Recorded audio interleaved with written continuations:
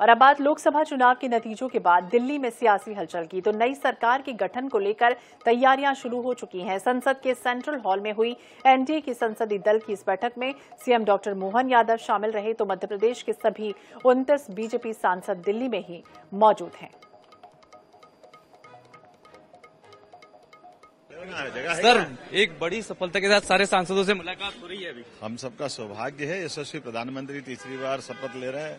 इससे आनंद की क्या बात है, ऐसे माहौल में। तो यहाँ पर हम देख रहे हैं, ये फ़ोटो सेशन यहाँ पर हो रहा है, जिसमें मुख्यमंत्री मौजूद हैं, प्रदेश अध्यक्ष मौजूद हैं, तमाम सांसद जो हैं, उनको हम यहाँ पर दिखा रहे हैं जो यहाँ पर फ़ोटो सेशन चल रहा है उसमें।